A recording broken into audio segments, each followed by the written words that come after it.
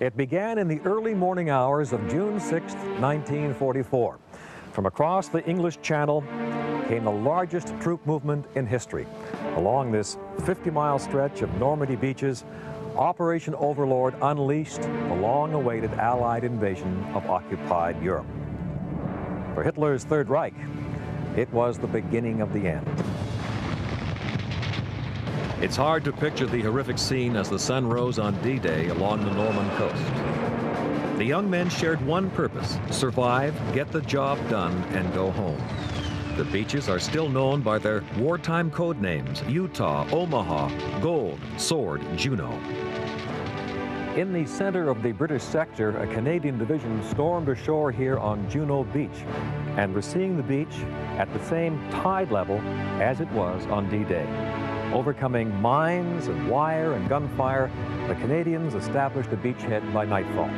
Indeed, the Canadians penetrated further inland than any of the other Allied forces. In truth, the beaches are unremarkable, backed by gentle dunes and marshes. Much of Normandy is an open-air museum. Good maps guide you to the landing beaches and important sites along old military routes. The city of Caen was liberated by the Canadians in July, a little over a month after D-Day. The city suffered considerable damage, three quarters of its buildings completely destroyed. Today, Caen is home to the best World War II museum in France. At the Memorial Museum, guides from the Canadian Battle of Normandy Foundation were very helpful. In the main hall, this scene of Canadian liberators. The memorial explains the origins of the war, Germany's humiliation at Versailles, the Nazi rise to power, France and Britain declaring war on Germany in September of 1939 but with the threat of immediate invasion. A visit to the Memorial Museum in Caen will help you appreciate your tour of the D-Day beaches and other World War II landmarks. The seaside town of Arromanches played a very important role in the liberation of Europe.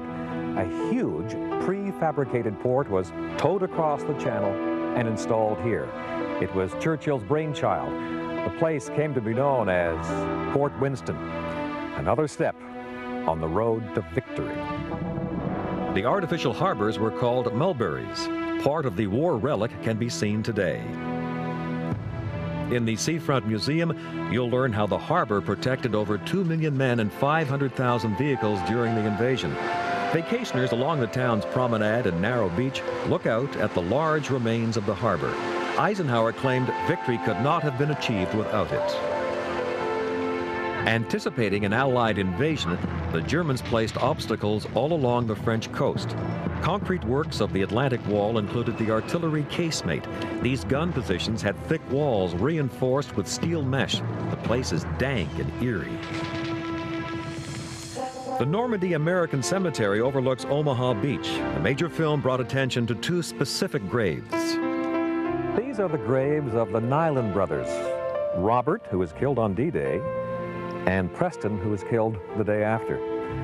At the same time, a third brother was listed as missing in action and presumed dead in Burma. A fourth brother, Fritz, a paratrooper, had landed on D-Day. And when the Army learned that both brothers were killed, they wanted Fritz removed from the battle zone. They sent a priest out to look for him. He was found and evacuated. The tragic story of the Niland brothers was the inspiration for the film Saving Private Ryan. Fritz Niland was reassigned as a military policeman in New York State out of harm's way. His brother in the Far East turned up alive in a Japanese POW camp. He got back to the U.S. safely. Fritz, the model for Private Ryan, became an oral surgeon in Niagara Falls. He died in 1986. Mrs. Niland lost two of four sons. A human drama, I think, more interesting than the film. The Niland brothers are buried with over 9,000 servicemen and women. The Canadian War Cemetery is inland from Juno Beach near the village of Reviers. Canada's D-Day success came at a very high price, almost 1,000 casualties of whom 340 were killed in action or died of wounds.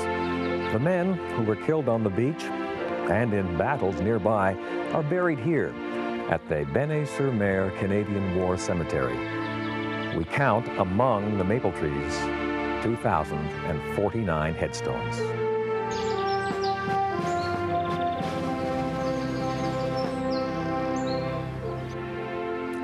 When the generation represented by these graves was spilling blood on the killing fields and beaches of Normandy, my generation was at home. I was safe in my little bed. At the end of D-Day, 2,500 Allied soldiers were dead, cut down in the bloom of life. Being here is a profoundly moving experience, and one is grateful for what they did on that longest day